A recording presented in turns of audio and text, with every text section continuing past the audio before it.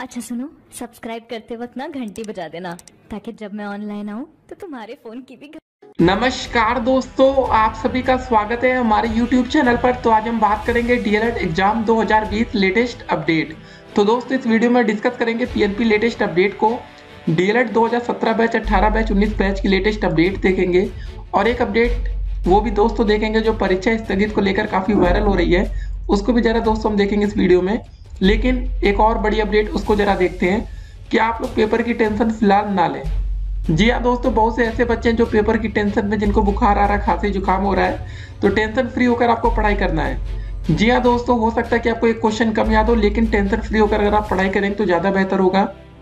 और देखिए, back paper छात्रों को अतिरिक्त पढ़ाई की ज़रूरत है। देखिए, हुआ क्या कि जिन बच्चों की बैक लगी थी, वो बच्चे काफ़ी संघर्ष किए और उनको लगा कि यार, लास्ट टाइम तक हो सकता है कि हम प्रमोट हो जाए, लेकिन ऐसा हुआ नहीं। तो फ़िलहाल दोस्तों, जिन बच्चों की बैक है, उनको एक्स्ट्रा पढ़ाई की ज़रूरत पड़ेगी। अगर आपने पढ़ाई में कहीं पर भी लापरवाही की तो फिर से दोस्तों आपकी बैक लग सकती है। तो देखिए, आप लोग को क्या करना है? आपको भी टेंशन फ्री होकर पढ़ाई करना है। पहले आपको अपना बैक पेपर देखना है कि बैक यार जिसमें आ गई, उसको आप पहले कवर करेंगे। उसके बाद आप आगे का सोचेंगे। अफवाह से दोस्तों आपको बचना है। क्या एडमिट कार्ड जारी हो चुका और कॉलेज में वो कब से मिलेगा? देखिए गाइस आपको बता दें, फ़िलहाल जो आपका एडमिट कार्ड है वो कॉलेज में आज तो नहीं मिला 26 अक्टूबर को, लेकिन 28 अक्टूबर या 29 अक्टूबर को ये आपको एडमिट कार्ड आपके हाथों में पहुँच जाएगा। 28 अक्टूबर तक दोस्तों पूरी उम्मीद है कि कल हो सकता है कि कुछ कॉलेजेस में कल भी बुलाया गया, लेकिन कल अगर नहीं मिलता तो 28 अक्टूबर तो डेफिनेटली है, क्योंकि आपको बता दें, जो आपका पहला पेपर शुरू होगा वो 30 अक्टूबर से होगा। तो सभी सेमेस्टर का एडमिट कार्ड एक साथ जारी कर दिया जाएगा, चाहे वो सेकेंड सेमेस्टर का हो, चाहे फ़र्स्ट का हो थर्ड का हो फोर्थ का हो। क्योंकि जैसे आपकी डेट शीट को एक साथ जारी किया गया था तो एडमिट कार्ड भी साथ में ही जारी होगा। ज़्यादा दिन का डिफरेंस तो है नहीं। तो गाइस तैयार हो जाइए पेपर के लिए। ठीक है? डीएलएड प्रथम, द्वितीय, तृतीय, चतुर्थ सेमेस्टर परीक्षा की डेट शीट 2020 अगर अभी तक दोस्तों आपने एग्ज़ाम की डेट शीट को डाउनलोड नहीं किया है तो उसका लिंक भी हम नीचे कमेंट बॉक्स में दे रहे हैं। उसको एक बार डाउनलोड करना ज़रूरी है। देखिए, हम आपको कुछ बातें बताना चाहते हैं। काफ़ी बच्चे इस बात को लेकर कंफ्यूज भी हैं, उसको भी हम देखेंगे। क्या सरकार लेगी बड़ा फैसला? जी हाँ दोस्तों, शिक्षक भर्ती को लेकर बात होगी कि क्या सरकार एक बड़ा फैसला ले सकती है? क्योंकि इस समय क्या है कि डीएलएड के काफ़ी छात्रों की मांग है कि भाई नई भर्ती जल्द से जल्द निकल जाए। देखिए वो छात्र ऐसी मांग इसलिए कर रहे हैं ना कि 18 बैच और 19 बैच बाहर हो जाए। देखिए, जो बच्चे पास हो जाते हैं भाई, वो भी चाहते हैं ना, उनको कंपटीशन थोड़ा कम मिले। तो ये मांग हो रही है तो क्या इस पर सरकार कोई फैसला लेने वाली है? उसको भी हम डिस्कस करेंगे। और आपको बताते हैं अगर आप एक सही तरीके से पढ़ाई करेंगे तो डेफिनेटली एक दिन पढ़कर भी मतलब सब कुछ क्लियर कर सकते हैं। अगर सही तरीके से किए तो। और यहाँ से डाउनलोड करें आप लोग एडमिट कार्ड तो दोस्तों, इसका लिंक हम नीचे आपको कमेंट बॉक्स में देने वाले हैं। फ़िलहाल दोस्तों, आप कॉलेज आईडी के माध्यम से ही अपना एडमिट कार्ड डाउनलोड कर पाएँगे। मतलब ये मत सोचिएगा कि आपके पास रोल नंबर रजिस्ट्रेशन नंबर होगा, आपका एडमिट कार्ड उससे आएगा। तो रजिस्ट्रेशन नंबर से आपका एडमिट कार्ड नहीं आता, लेकिन कॉलेज की आईडी होगी, उससे आपको आपका एडमिट कार्ड मिल जाएगा। तो देखिए, आपको एक बात और बताना चाहते थे कि आपको सभी विषयों को समान रूप से पढ़ना है। जी हाँ दोस्तों, काफ़ी छात्रों के मैसेजेस आ रहे थे। वो बच्चे मैसेज में क्या करें, आपको बता दें। चाहे आप किसी भी सेमेस्टर की तैयारी कर रहे हो सेकंड की थर्ड की या फोर्थ की, या दोस्तों आप बैक पेपर वाले छात्र फ़र्स्ट सेमेस्टर की भी तैयारी कर रहे हैं तो बच्चे क्या फोकस किए ना? जो बच्चे सेकंड सेमेस्टर देखिए दो तीन सेमेस्टर की डेट सीट है आपके सामने, वो बच्चे गणित को और अंग्रेज़ी को लेकर ज़्यादा परेशान है। सेकंड सेमेस्टर की हम बात कर ले पहले। उसके बाद जो बच्चे थर्ड सेमेस्टर में आते हैं, वो बच्चे क्या कर रहे हैं कि गणित और संस्कृत को लेकर ज़्यादा परेशान है। फोर्थ वाले बच्चे गणित और इंग्लिश को लेकर है। ठीक है, इसमें कोई दिक्कत नहीं, लेकिन दोस्त आपको बता दें, जब आप पहले दिन का पेपर देने जाते हैं तो होता क्या है ना कि जैसे आपका पहला पेपर पाँच नवंबर से शुरू हो रहा है, ठीक है? आपके सामने डेट सीट है सेकेंड सेमेस्टर की। वैसे दोस्तों ठंड का भी पेपर होगा सेमेस्टर का और फोर्थ का भी। होता है क्या कि आप पाँच नवंबर का जो आपका पूरा दिन जाता है पढ़ाई करने में, वो पहला सब्जेक्ट ही जाता है। क्योंकि आपको पता है एक दिन में आपके दो पेपर होंगे, दूसरा दोस्तों प्रारंभिक शिक्षा के नवीन प्रयास होगा। तो आपका जो पूरा फोकस हो जाएगा पाँच नवंबर को किस पर होगा? ये पहला पेपर पर। ठीक है, गलती आप कर जाएँगे प्रारंभिक शिक्षा के नवीन प्रयास। तो गाइज़ आप ऐसे जितने भी सब्जेक्ट आ रहे हैं, जैसे आप पहले सेकेंड पेपर को अच्छे से तैयार करेंगे उसके बाद दोस्तों, जब दूसरा दिन का पेपर होगा तो आप इसमें सामाजिक अध्ययन को अच्छे से देखेंगे, क्योंकि इसमें आपको समय काफ़ी कम मिलता है। देखिए, सामाजिक अध्ययन के पेपर के लिए जो आपको समय मिलेगा, देखिए, चाहे आप किसी सेमेस्टर में हो। बारह से एक आपका पेपर होगा गणित का, और जानते एक बजे जैसे पेपर आपका खत्म होगा, उसके पाँच से दस मिनट बाद आप बाहर निकलते हैं, थोड़ा इधर उधर देखते हैं, थोड़ा हाथ, मुँह, पानी वानी पीते हैं ना तो 10 से 15 मिनट तो आपके यही बर्बाद होते हैं। उसके बाद क्या होता है कि आप पाँच मिनट पहले क्लास में एंट्री कर जाते हैं तो आपके पास समय कितना मिलता है? ये सोचना आपको ना कि अगर आपको सिर्फ़ 45 या 40 मिनट मिलेगा तो आप उसमें क्या एक अच्छा स्कोर कर सकते हैं? 45 मिनट में कुछ बच्चे चाय कॉफ़ी या जो भी खाते पीते हैं, समोसा वमोसा भी तो चलने लग जाता है ना तो इसको आपको थोड़ा ध्यान में रखना है कि जहाँ समय आपको कम मिलता है, उसको आप पहले अच्छे से पढ़ लेंगे। देखिए, होता है क्या काफ़ी बार आपके पास एक्सपीरियंस नहीं होता, जैसे सेकेंड सेमेस्टर की बात करें तो आपको गाइस क्या करना है कि आज की ही डेट में आप पहले अपने प्रारंभिक शिक्षा के नवीन प्रयास को अच्छे से पढ़ लेंगे, क्योंकि जब आप वर्तमान भारतीय समाज एवं प्रारंभिक शिक्षा का पेपर देकर बाहर निकले तो थोड़ा बहुत मतलब रिलैक्स होने का टाइम हो, थोड़ा फ्री होने का टाइम हो। नहीं तो होगा ना, भैया भागते भागते गए, भागते भागते आके फिर शुरू हो गए कि यार पेपर होने वाला एक घंटे में, और एक घंटे में आप ज़्यादा कुछ पढ़ नहीं पाएँगे। सिर्फ़ रिवीजन ही हो सकता है। इसको ज़रा ध्यान में रखिएगा। उसी तरह सामाजिक अध्ययन के पेपर को आप पहले से पढ़कर जाएँगे, ठीक है ना?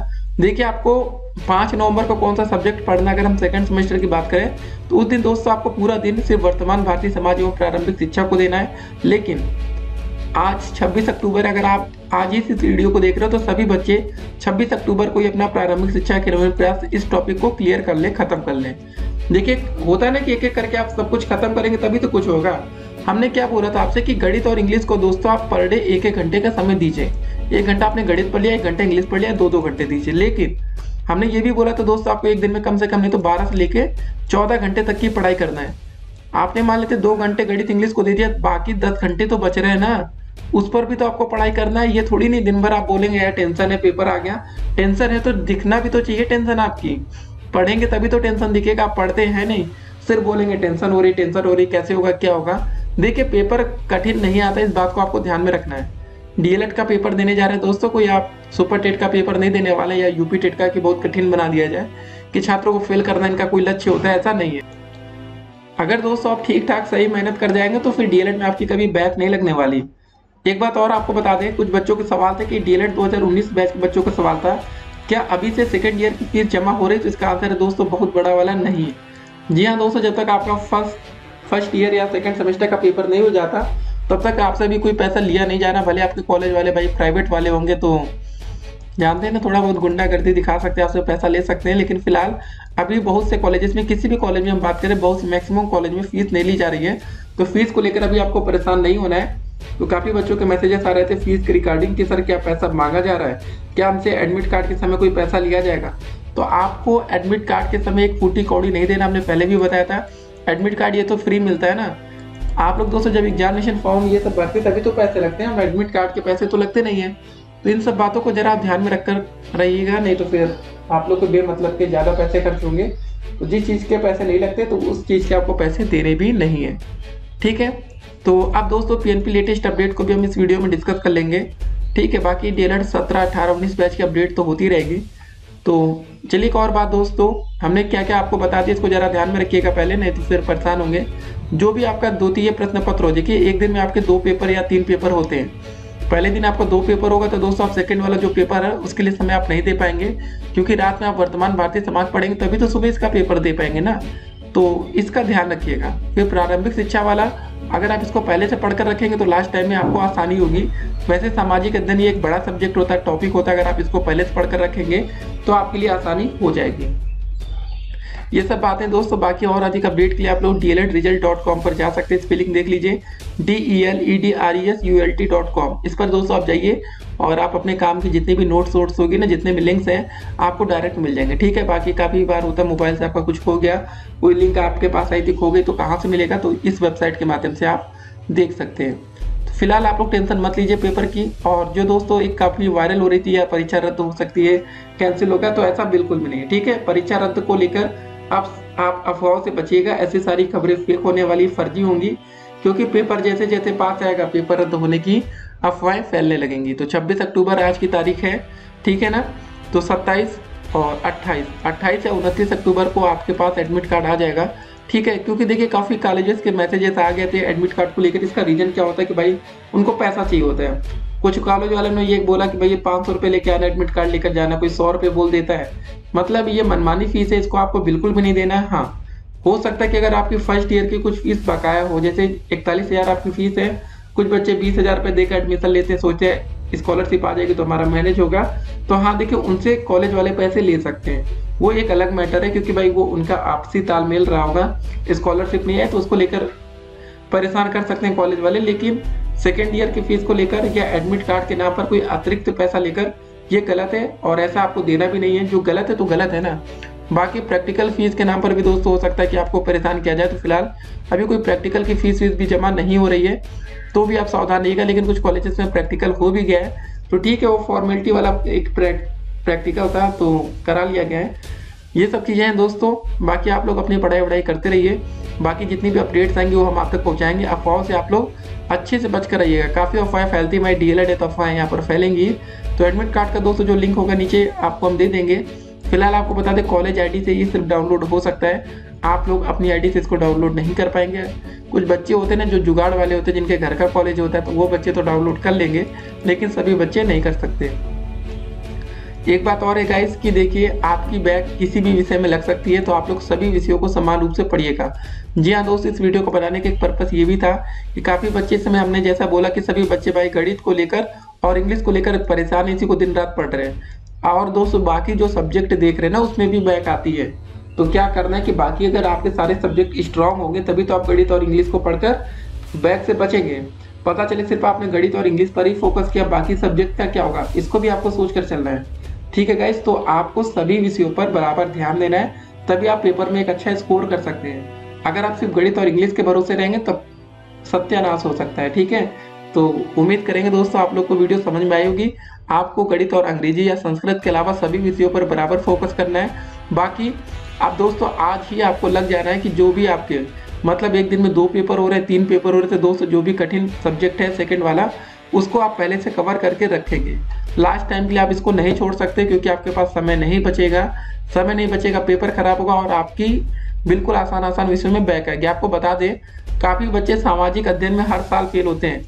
ठीक है? जब दोस्तों, अगर टोटल बच्चों में चौवन हज़ार बच्चे फेल हुए थे सेकेंड ईयर में दोस्तों, आपको बताते दो हज़ार अठारह बैच के ही छात्र सेकेंड ईयर में फेल होने वाले छात्रों की तादाद चौवन हज़ार को पार कर गई थी। उसमें सामाजिक अध्ययन में फेल होने वाले छात्रों की संख्या भी बहुत ही ज़्यादा थी। ठीक है? इंग्लिश में, गणित में तो बच्चे बैक आई थी, उसके बाद सामाजिक अध्ययन में भी ठीक ठाक बैक आ गई थी। तो गाइस अभी से आपको इन सब चीज़ों पर थोड़ा फोकस करना पड़ेगा, नहीं तो फिर लास्ट में आप कवर नहीं कर पाएँगे ये सब चीज़ें, ठीक है? चलिए मिलते हैं एक और वीडियो में, तब तक के लिए stay connected have a nice day